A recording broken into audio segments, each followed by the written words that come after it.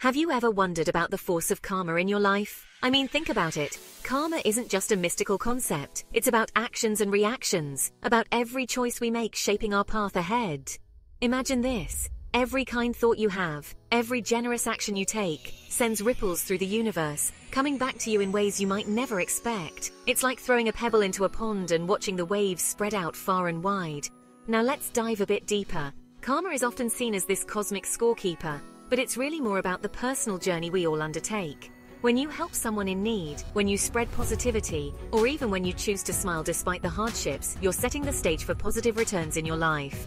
But here's the kicker. Karma is not just about the good. It also reflects our mistakes, our negative actions. Ever noticed how negativity can spiral? How one bad decision can lead to another? That's karma too, reminding us that our actions have weight, shaping our future one choice at a time.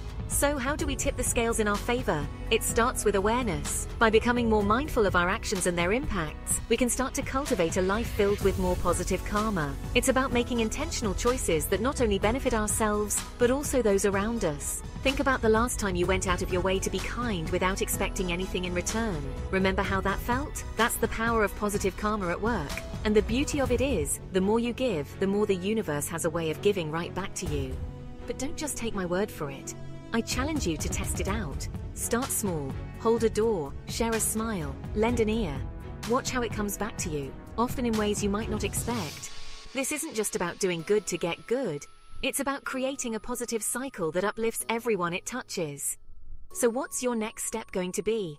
How will you use your actions to positively shape your destiny and perhaps even the world around you? Remember, every little bit counts.